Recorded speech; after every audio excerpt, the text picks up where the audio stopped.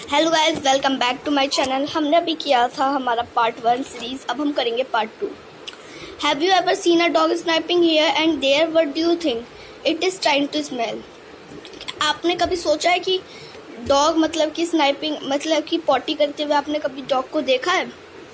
अब क्या मतलब वो क्या करता है? आपको पता है ये क्या करता है? हाँ तो मैंने इसका आंसर लिखा था मेरी नोटबुक में, मैं आपको अभी दिखाता हूँ। यस आपने तो कभी कभार देखा होगा। I have seen a dog sniping here and there because the dog mark it area because it area by its urine और potty he smell her urine because if another dog will not come to it area मतलब कि क्या होता है कि dog अपनी area को urine से मार्क करते हैं। वो अपनी अलग अलग यूरिन होती है सभी डॉग की। वो ट्राई करते हैं स्मेल करने की यूरिन की। वो यूरिन किसकी है? और वो पॉटी से कर लेते अपनी एरिया मार्क या फिर यूरिन पॉटी का मतलब लेट्रिन होता है। अब हम, हमारे क्वेश्चन सीरीज़ में पढ़ते हैं। In what way human being make use of special sense of smell dogs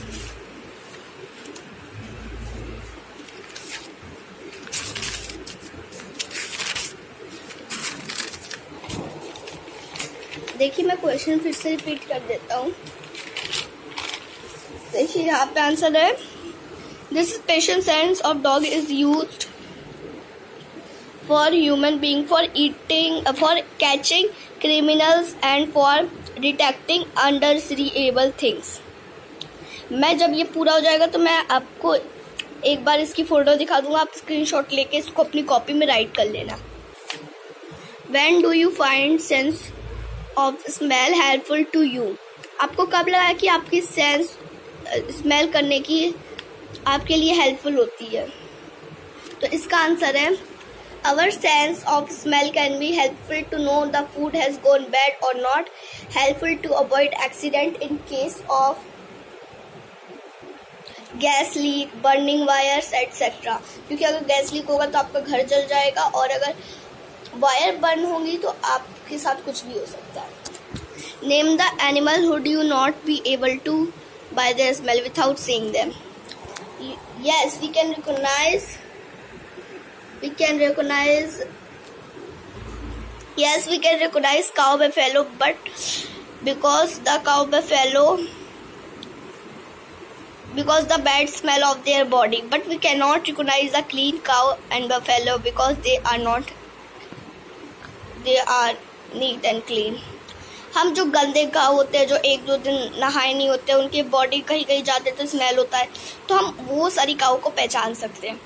पर अगर जो हमने उस दिन उसको नहला दिया तो हम उस काऊ को नहीं पहचान सकते हैं। बाकी सब एनिमल्स मेरे को नहीं पता है, आप कमेंट करके बता देना। Write the name of five things who smell you like and who smell you don't like I like the smell of perfumes rose flower wet soil गीला वो मिट्टी and incense sticks tasty food camphor Kapoor कपूर जब जलता है तब बहुत अच्छी खुशबू आती है। Discuss do the cloth of any your family member smell yes my brother cloth smell because he did not clean and neat he clean one day in two weeks मेरे भैया के कपड़े बहुत गंदे और स्मेलदार होते हैं, क्योंकि वो एक, दो हफ्तों में एक ही दिन नहाते हैं।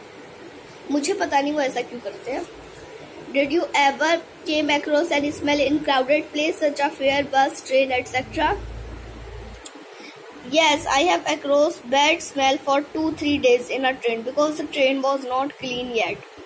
I crossed the bad smell for 30 minutes in a bus because there are some people like farmer poor persons etc because they are not bathed yet.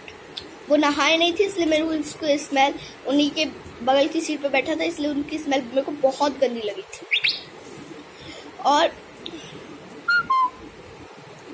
और क्या कहते हैं, मेरे को ट्रेन में भी बहुत बुरा लगा था जब एक आदमी मेरे पास बैठ गया था और ट्रेन भी उतनी अच्छी साफ़ नहीं की गई थी। End of chapter one, part two. Part three जल्दी रिलीज़ होगा, part three. Stay home stay safe अगर आपको ये वीडियो अच्छी लगी तो लाइक कीजिए सब्सक्राइब कीजिए। अब मैं आपको ये एक बार दिखा देता हूँ।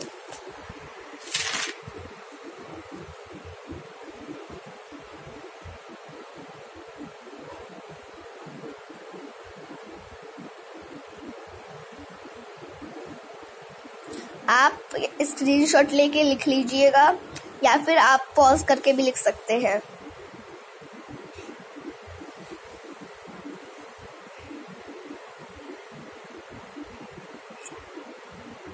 मैं हर एक पेज को सिर्फ़ और सिर्फ़ टेन मिनट्स के लिए दिखा रहा हूँ।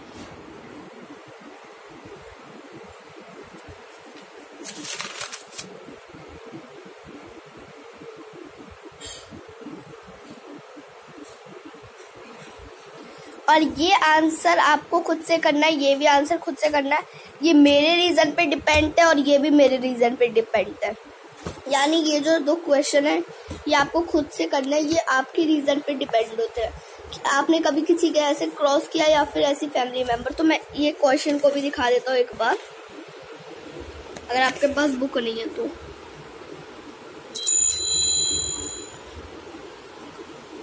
Thanks for watching. Don't forget to like and subscribe and share with your this with your friends. The aim with is 2000 likes.